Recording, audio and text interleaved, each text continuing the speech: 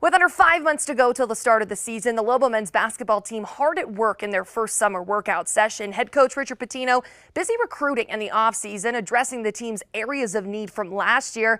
Those new faces working out on the pit floor this afternoon. Transfers Josiah Allick and Morris Udeze providing the muscle down low, while California's Mr. Basketball Donovan Dent set to compete with Jamal Mashburn Jr. and Jalen House in that backcourt. The newcomers spoke to the media today before practice on what they want their impact to be as a Lobo.